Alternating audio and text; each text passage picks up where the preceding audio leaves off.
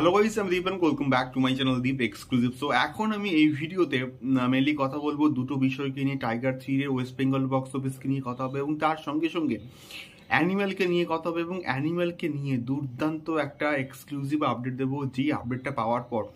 তোমরা মানে সিনেমা হলে যেতে বাধ্য হবে এই প্রজেক্টটাকে দেখবার জন্য অ্যাটলিস্ট আমি বলব। সো প্রথমে যদি আসি, আমাদের টাইগার থ্রি এর ওয়েস্ট বেঙ্গলের বক্স অফিস কালেকশন রিপোর্টকে নিয়ে। সো বিষয়টা হচ্ছে যে আপডেটটা উঠে আসে, সেটা সত্যি বলতে খুবই ভয়ঙ্কর একটা আপডেট তার কারণটা হচ্ছে, আমাদের পুজোতে যে কটা প্রজেক্ট মুক্তি পেয়েছিল আমাদের বাংলাতে, সেই কটা প্রজেক্টের সম্মিলিত যে কালেকশনস তার থেকে অনেক বেশি কিন্তু কালেকশনস করেছে আমাদের টাইগার থ্রি আমাদের ওয়েস্ট বেঙ্গলে মানে কারণটা হচ্ছে হয়তো টাইগার থ্রি সেই লেভেলে বিজনেস করতে পারেনি অল ওভার ইন্ডিয়াতে বা অল ওভার ওয়ার্ল্ডে যেটা এক্সপেক্টেড ছিল। মানে টাইগার থ্রিকে নিয়ে যেহেতু ওয়াইআরএফ স্পাই ইউনিভার্সের একটা খুবই ইম্পর্ট্যান্ট একটা পার্ট হচ্ছে আমাদের টাইগার থ্রি সো এক্সপেকটেশনটা অনেকটা স্কাই হাই ছিল। কিন্তু সেই লেভেলের এক্সপেকটেশন ফুলফিল করতে পারেনি বক্স অফিসের ক্ষেত্রে আমাদের ইন্ডিয়াতে কিন্তু আমাদের পাঠান বা জওয়ান বলি যে লেভেলে কালেকশনস করতে পেরেছিল, আমাদের ওয়েস্ট বেঙ্গলে তার থেকে কম কালেকশনস করলেও ভালো একটা কিন্তু কালেকশনস করে বেরিয়ে গেছে আমাদের ওয়েস্ট বেঙ্গলে টাইগার থ্রি এবং প্রায় আঠেরো থেকে উনিশ কোটি কিন্তু কালেকশনস করতে পেরেছে যেমন টাইগার থ্রি আমাদের ওয়েস্ট বেঙ্গল থেকে এখন অবধি। যেটা একটা সত্যি বলতে হিউজ লেভেলে একটা কালেকশনস এবং অডিয়েন্সের টেস্টটা কিন্তু এখান থেকে আমরা হালকা করে একটুখানি বুঝতে পারছি।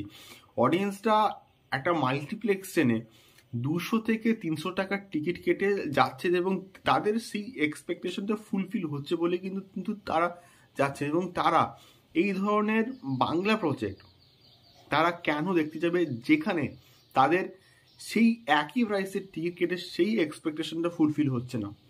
সো এটাকে নিয়ে কিন্তু টলিউড ইন্ডাস্ট্রির অ্যাটলিস্ট ভাবা ভাবা উচিত বলে আমার, আমি অ্যাটলিস্ট মনে করি। সো এটাই হচ্ছে মেনলি অবস্থা আমাদের টলিউড ইন্ডাস্ট্রির দ্বিতীয়ত যে বিষয়টাকে নিয়ে কথা হবে সেটা হচ্ছে অবশ্যই অ্যানিম্যালকে নিয়ে। সো অ্যানিম্যালের অ্যাডভান্স বুকিং ট্রিমেন্ডাস লেভেলে কিন্তু হচ্ছে। মানে আমি একটা সেপারেট একটা ভিডিও করব অ্যানিম্যালের অ্যাডভান্স বুকিংকে নিয়ে।